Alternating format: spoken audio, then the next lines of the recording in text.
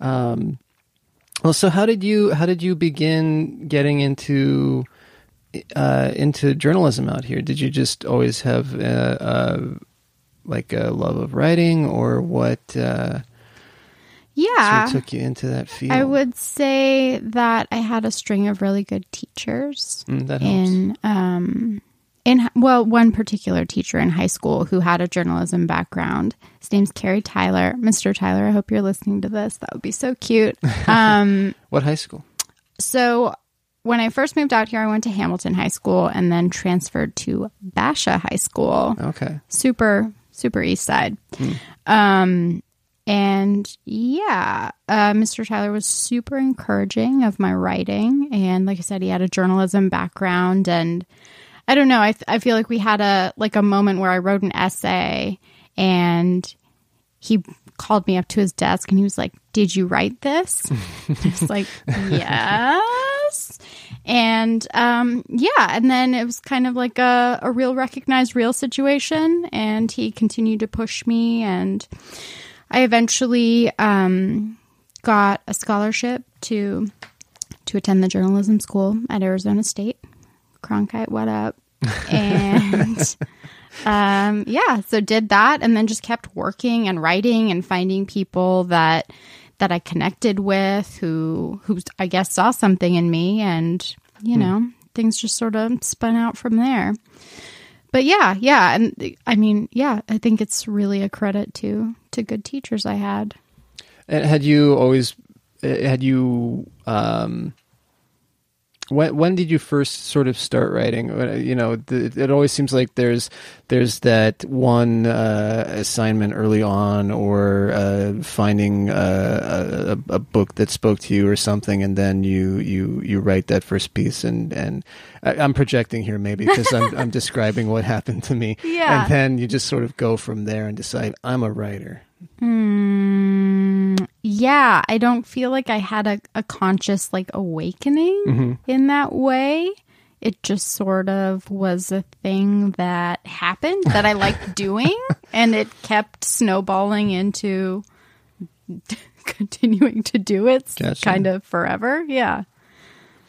Uh, how did you how did you sort of start out? I mean, what uh, because this uh, sort of leading take me on the journey up to becoming uh, the the arts and the music editor for for New Times because that's I mean I'm sure you had to you had a lot of you know stuff that you had to trudge through and prove yourself before getting to that point. So I'm I'm very convincing, but also I I've it's a combination of um sort of just being like, yeah, I can do this, and then like figuring out how to actually do it. Um, so a sort of mix of bravado and then like doing the work.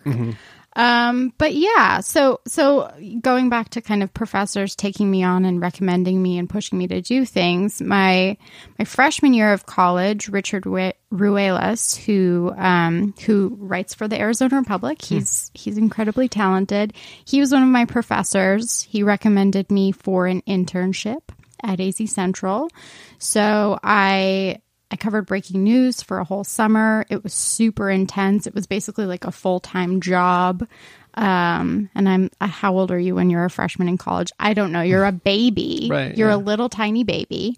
And so that was kind of like full immersion, being a reporter experience. Um, one of the biggest stories I covered that summer was I don't know if you were here or how long you've been in Arizona, but two um, two uh, TV news station helicopters crashed yeah, I remember that. over um, Steele Indian School Park. And so I was out there on the scene contributing to that reporting that the Republic ran that day and, you know, in the following weeks. And so I had that experience under my belt. I I joined the college radio station. I was the music director there for a, for a year and then took over as station manager. I just like to, you know, hop in and start do being in charge of shit. There I you go. guess that's kind of my vibe. So, uh, I, I didn't even realize that ASU had a college radio station. Oh. they do. they do. If I were still in college and running it, I promise you would know about it. but um Yeah. Yeah, they do. It's called The Blaze. Okay. It's a, well, I don't know what number it is on the dial anymore, but it used to be 1260 AM. Oh, And uh, the signal was very, very weak. I assume it continues to be very, very weak to this day. Um, we broadcast out of a tower on University and like, f- I don't know. Well, it, on the north side of ASU Tempe campus. gotcha. Um, I think it's mainly art school programs that are in that building now. The Museum of Walking, I think, was was headquartered there. I don't know if it still is, but um, but yeah, ran the radio station, so got to know local musicians, folks doing cool stuff around town, and just sort of became enmeshed in I don't know stuff that's going on. But you, but um, but you decided you didn't decide at that point that radio was something you were interested in. Yeah, not really. I mean, Station uh, management was not in your future. I guess not. Um, yeah. So I ended up actually leaving the station my junior year, uh, or after my junior year. Um, I was station manager junior year, and then kind of felt like, okay, like I did this. Let's go do something else now. Um, which I guess is a another facet of my personality. We're just having a lot of breakthroughs right now. So. That's what I'm here for. great. Um, no license therapy. but yeah, um, just felt a little tapped out on that. I also in college um, worked for Sony's music label division, Oh wow. um, and so did marketing on and around ASU's campus and kind of helped promote bands and yeah so so you really did just like hop along and do one thing and then show you could do it and then do something else. Well, I mean, the the Sony thing I did for a couple years. My friend um, Ashley Harris, who who I met through the Blaze, twelve sixty AM.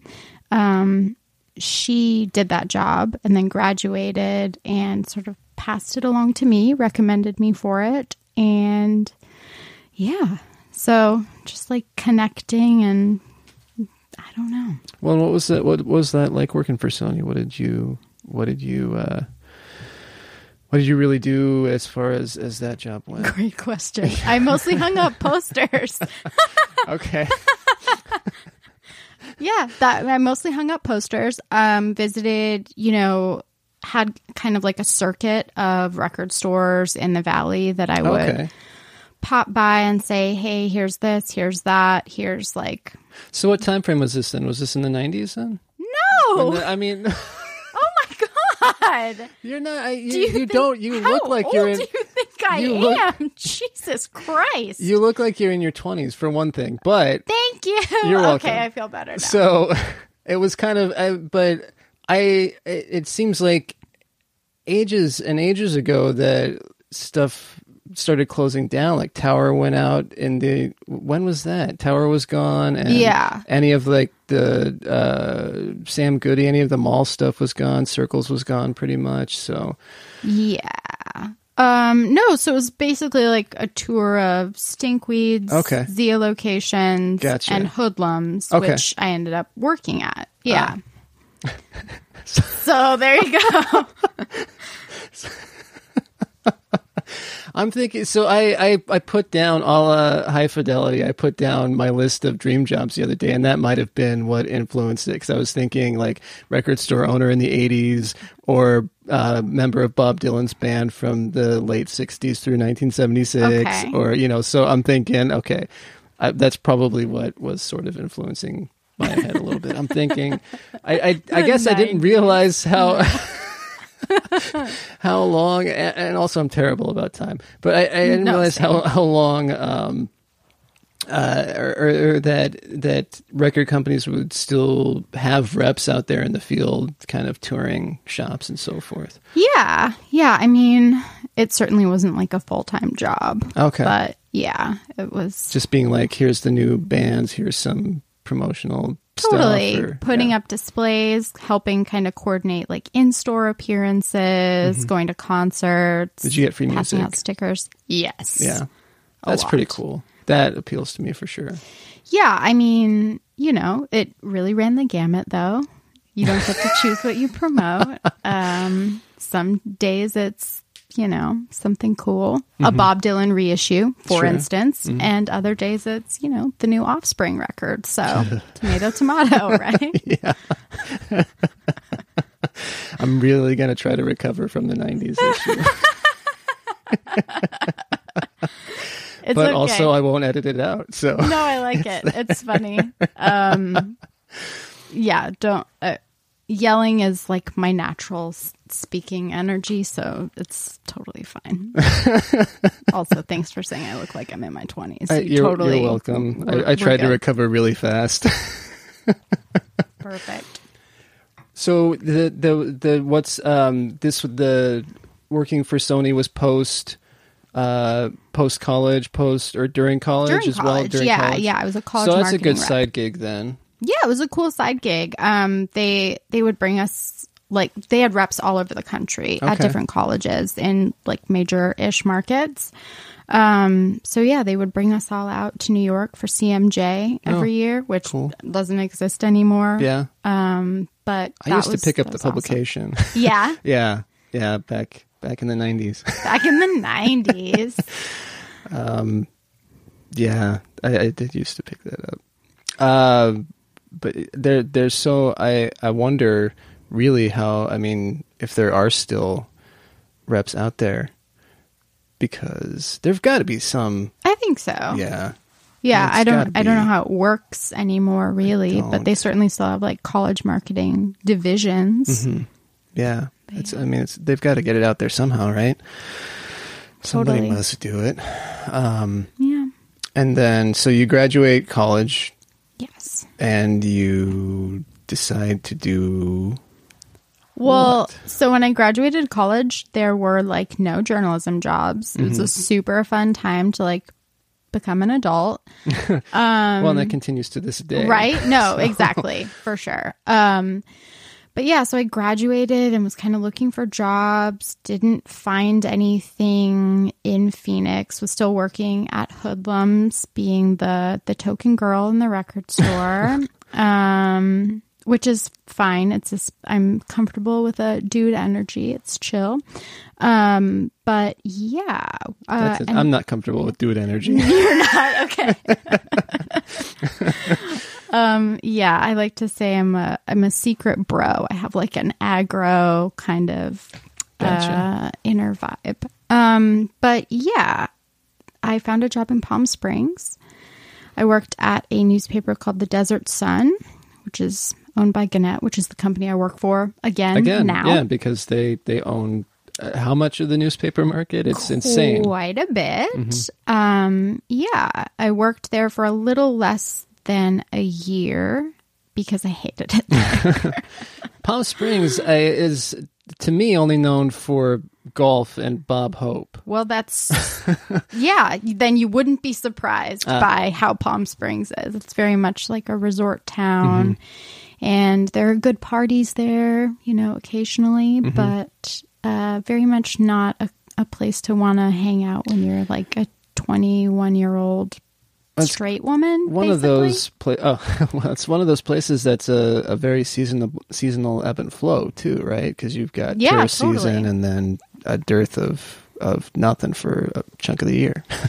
Yes. I mean, you have Coachella, Mm-hmm. which is maybe exciting depending on what the lineup is that year. The Sure. year I lived there, though, I went to Coachella. I went to, um, oh God, what's the country music fest? Stagecoach. Okay. And I, that was also the year they had the big four, Mm. which was Metallica, Slayer, Megadeth, and what's the fourth? Did I say four? Metallica, Slayer, Megadeth. Um, I'm a little out of my element in. Uh, Just pretend we Anthrax? said all four. Maybe? No? I don't know. I don't know. Are Anyway, they big enough to be on the big four? I'm It uh, yeah, metal's a little my- very memorable, clearly to me. So yeah, I'm sure somebody's. It always happens. At least when I'm listening to podcasts and some, somebody doesn't know, and I know, I'm like, it's this, it's this. yeah. I hope a lot of people are yelling at me right now. I, I do too. That's my aspiration as a podcaster is to be yelled at by somebody